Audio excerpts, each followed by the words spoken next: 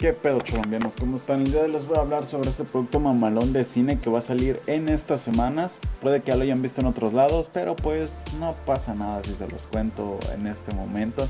Aquí está el producto mamalón de Mulan, el cual van a vender en Cinemex. Es una palomera mamalona, si no es que me equivoco.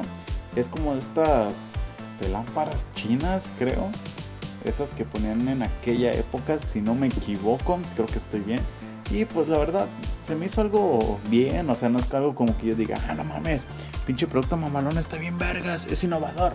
Pero pues está bien, güey, o sea, le echaron ganas, sí, pues sí llama la atención, atrajo mi atención mamalona.